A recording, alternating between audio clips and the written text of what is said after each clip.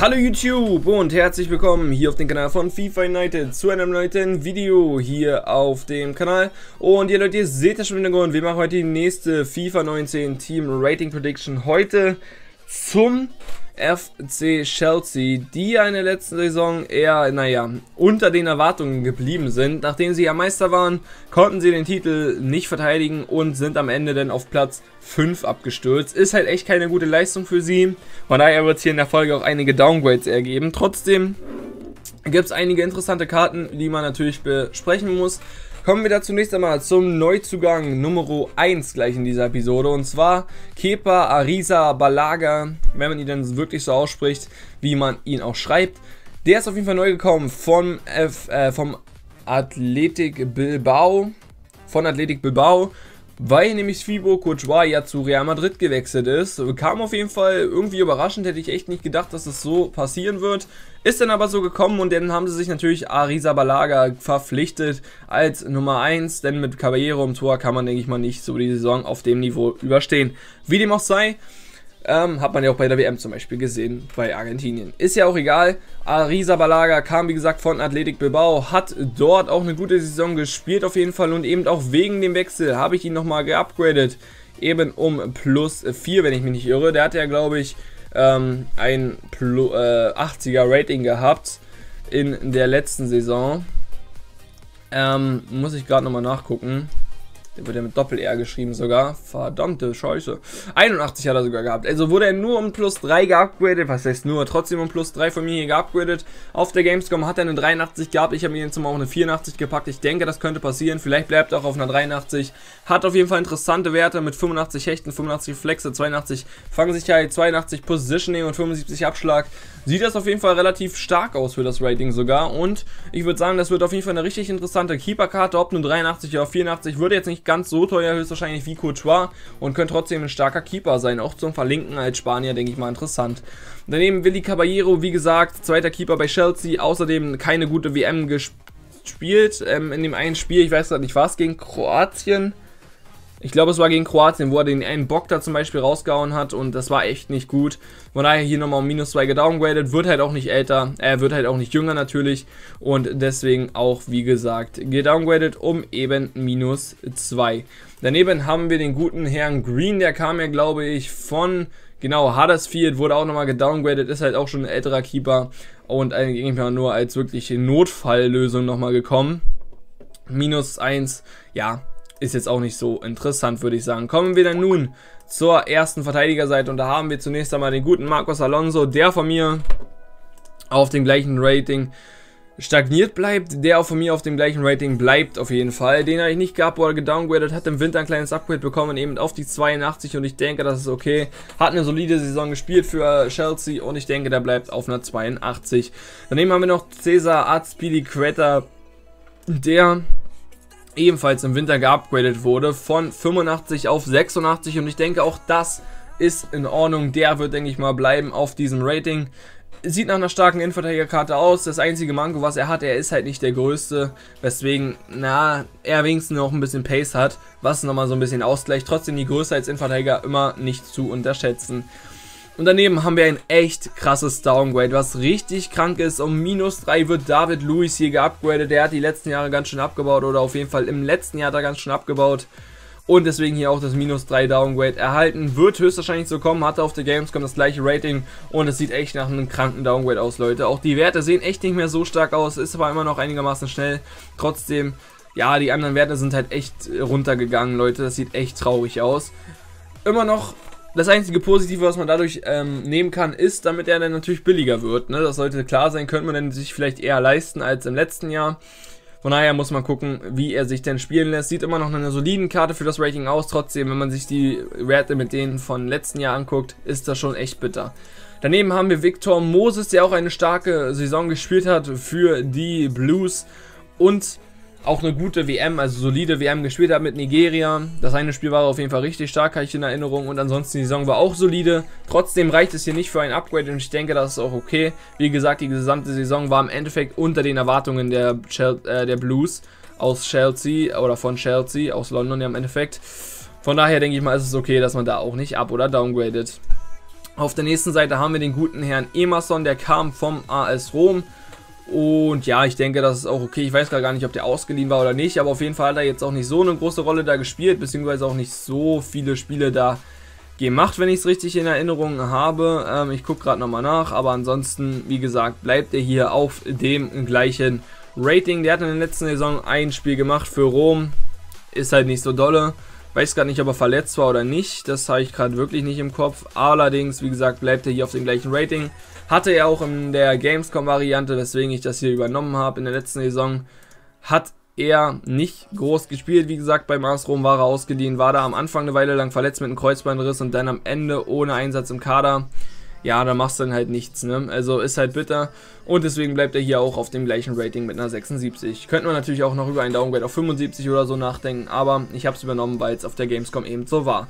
Daneben haben wir dann noch Andreas Christensen, der ja kam von oder zurückkam von Gladbach in der letzten Saison, auch eine gute Saison gespielt hat, da für die Blues im Endeffekt und auf dem gleichen Rating hier stagnieren wird, wie er es auch im Winter bekommen hat. Hat ja auch im Winter ein Upgrade bekommen auf 82 von 81 und ich denke, das ist auch okay, da wird er, denke ich mal, auch bleiben. Sieht nach einer starken Innenverteidigerkarte aus, eben auch, weil er so einigermaßen schnell ist und trotzdem sehr groß ist auch noch. Daneben haben wir noch Antonio Rüdiger, der ein kleines Downgrade von mir bekommen hat, um minus 1. War jetzt keine kranke Saison und deswegen könnte man da, denke ich mal, auch über ein Downgrade nachdenken oder ist, denke ich mal, auch angemessen. Hatte er, wie gesagt, auch schon auf der Gamescom und deswegen ein minus 1 Downgrade ist es okay, denke ich mal. Genau, daneben haben wir noch Zappa Costa, der von mir das gleiche Rating bekommen hat. Glaube, nee, hat er nicht. Oder? Ja doch, er hat das gleiche Rating von mir bekommen. Ähm, hab gerade nur ihn übersehen gehabt. Wie dem auch sei, er hat das gleiche Rating von mir bekommen. Ist, denke ich mal, auch okay. Hat ein paar Spiele gemacht. War jetzt nicht allzu krass. Und ja, er war, ja, wie gesagt, er hat solide gespielt in der, im Endeffekt in der Saison. Hat auch eine ordentliche Anzahl an Spielen gemacht, 22. Ist auf jeden Fall okay, von daher denke ich mal, bleibt das Rating hier auch gleich.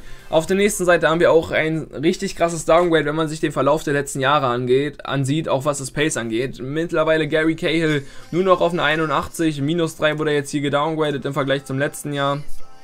Ist, denke ich mal, nachvollziehbar. Außerdem das Pace ist jetzt schon um minus 4 runtergegangen, wenn ich überlege, vor ein paar Jahren hat, dann war er ja mal so schnell.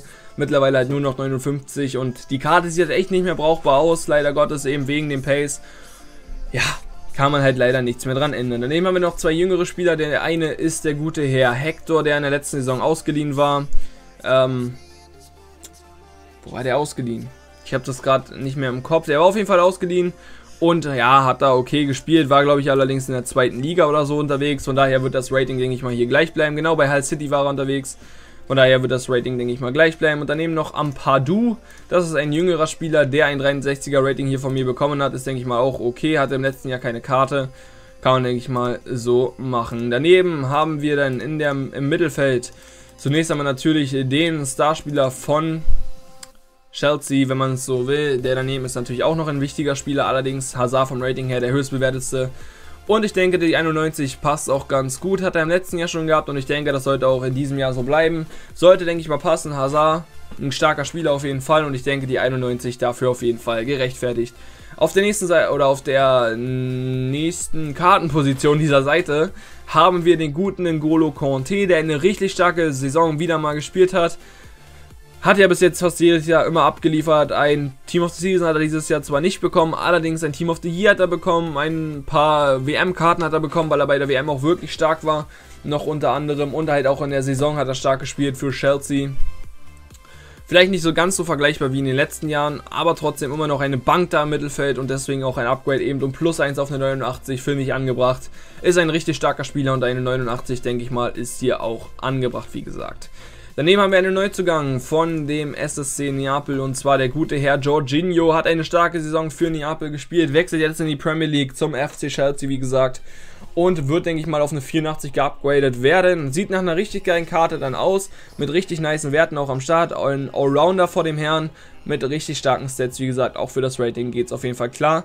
Und daneben haben wir noch den guten Herrn William, der, denke ich mal, auch auf dem gleichen Rating stagnieren wird. Ist, denke, das ist okay. Hat jetzt eine gute Saison gespielt, war jetzt auch nicht zu krass. Wie gesagt, Chelsea an sich unter den Erwartungen geblieben. Ähm, von daher denke ich mal, kann man damit leben. Auf der nächsten Seite haben wir den Rückkehrer von Crystal Palace, war ja glaube ich dahin ausgeliehen, und zwar Loftus Cheek.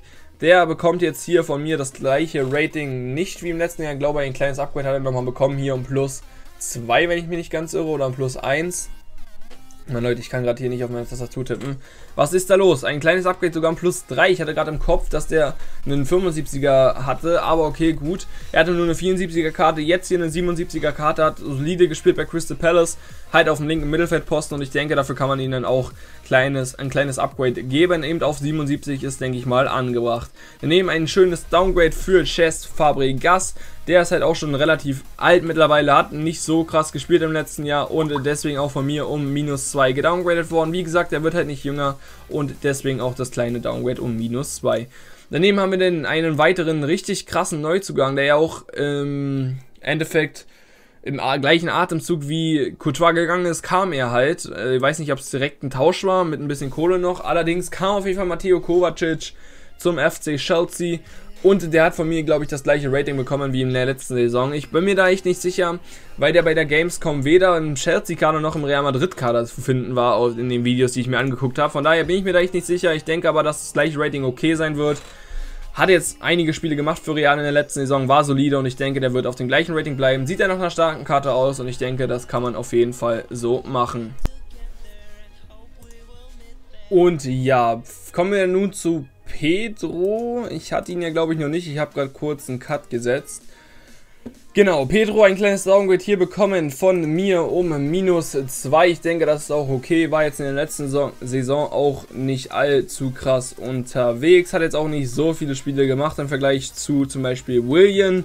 Von daher denke ich mal, geht das kleine Downgrade hier um minus 2. Klar, hat in der letzten Saison sogar 31 Spiele gemacht. Allerdings, wie gesagt, vier Tore und zwei Vorlagen sind jetzt auch nicht die Welt, wenn man ehrlich ist. Ähm, für einen Flügelspieler ist das schon relativ ja, wenig in dem Sinne. Von daher denke ich mal, geht es auch in Ordnung, dass man hier ihn um minus 2 downgradet und im Endeffekt das Rating anpasst im Vergleich zu William, ist halt doch schon ein bisschen schlechter in dem Sinne.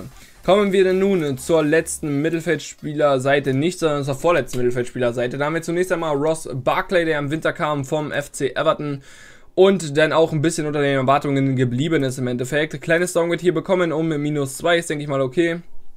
Daneben dann noch Danny Drinkwater, der von mir das gleiche Rating bekommen hat wie im letzten Jahr.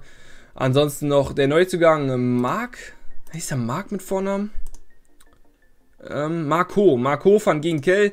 Der ist gekommen im Winter von PSW Eindhoven und hat ein kleines Upgrade von mir bekommen um minus 1. Ich denke, auf das gleiche Rating wie Drinkwater und Barclay ihn zu packen, ist dann auf jeden Fall okay. Dann nehmen wir noch Charlie Musonda.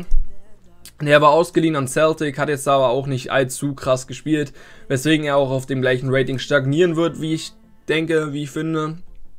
Ich weiß auch nicht, ob er noch im nächsten Jahr 5 Star Skills haben wird. Wenn, dann sieht er auf jeden Fall wieder interessant aus für ein Cheap-Team, für ein Starter-Team. Auch mit den 5 Star Skills, wie gesagt. Allerdings ansonsten, ja, ist halt eine Low-Rated Flügelspielerkarte, wo man auch bessere Alternativen sicherlich findet. Ansonsten kommen wir dann nun zur letzten Mittelfeldspielerseite. Der war, haben wir nochmal einen ehemaligen Frankfurter und zwar Lukas Piasson, der jetzt auch nicht allzu krass unterwegs ist, sind wir ehrlich. Ähm, von daher würde ich sagen, handeln wir den schnell ab. Kleines Downgrade bekommen und minus 2 war ausgeliehen, glaube ich, an Fulham. War der in Fulham ausgeliehen? Er war auf jeden Fall ausgeliehen an eine Zweitligamannschaft, wenn ich mich nicht ganz irre. Genau, Fulham hat jetzt auch nicht allzu krass gespielt weswegen er hier das 72er Downgrade bekommen hat. Kommen wir dann nun zur letzten Seite und da haben wir nochmal die drei Stürmer der Blues und damit zunächst einmal Alvaro Morata, der in der letzten Saison auch stark unter den Erwartungen geblieben ist, war ja nicht mal mit bei der WM und dabei, von daher, ja, heißt das schon einiges. Ähm, außerdem Spanien ja sowieso eh da relativ früh ausgeschieden und er war, wie gesagt, nicht mal im WM-Kader mit dabei. Was schon relativ traurig ist. Ansonsten in der Saison 31 Spiele gemacht, 11 Tore, 6 Vorlagen. Ist auf jeden Fall nicht schlecht. Allerdings, wie gesagt, trotzdem irgendwie unter den Erwartungen geblieben. Auch aufgrund fehlender, wie gesagt, der fehlenden Nominierung zum Beispiel zur Weltmeisterschaft zum Kader. Hat zwar mit einem Upgrade auf 85 bekommen, wird er, denke ich mal, auf 83 gedowngradet werden wieder an sich Chelsea an sich ja unter den Erwartungen geblieben der letzten Saison. Daneben haben wir dann noch den Winterneuzugang vom FC Arsenal und zwar Olivier Giroud, der von mir das gleiche Rating bekommen hat, hat auch bei der WM nur gute Leistungen gezeigt, bei Chelsea war es okay und ansonsten würde ich sagen, kann man da auf jeden Fall von einem gleichen Rating sprechen. Ich denke, das ist okay. Wie gesagt, die WM war ganz gut. Die Saison dann eher ein bisschen weniger, auch wenn die WM jetzt nicht allzu krass war natürlich, darf man auch nicht vergessen, trotzdem war es okay und die Saison dann ein bisschen schlechter noch. Ansonsten denke ich mal, ist das gleiche Rating okay. Dann nehmen wir dann noch einen Neuzugang von Swansea und zwar der gute Herr Abraham oder Abraham, keine Ahnung, ob man das da so englisch ausspricht oder nicht. Ich denke mal eher wahrscheinlich Abraham denn. Der ein kleines Upgrade bekommen hat und plus 1 ist halt auch noch ein jüngerer Spieler und da halt ein kleines Upgrade zu geben, ist denke ich mal okay auf 74. Hat solide Werte mit 82 Tempo, 72 Schuss und 71 Physis. 69 Dribbling, das geht für eine 64, äh, 74er Karte voll in Ordnung. Ist dann aber auch für Competitive Teams dann eher uninteressant. Ja Leute, ich würde sagen, das war's denn hier von dieser FIFA 19 Team Rating Prediction zum FC Chelsea. Ich hoffe, es hat euch gefallen. Lasst mir auf jeden Fall eure Meinung nochmal in den Kommentaren da wie ihr denkt, dass ich die Spieler bewertet habe. Ansonsten würde ich sagen, sehen wir uns bei der nächsten Prediction wieder. Bis dann, haut rein und ciao.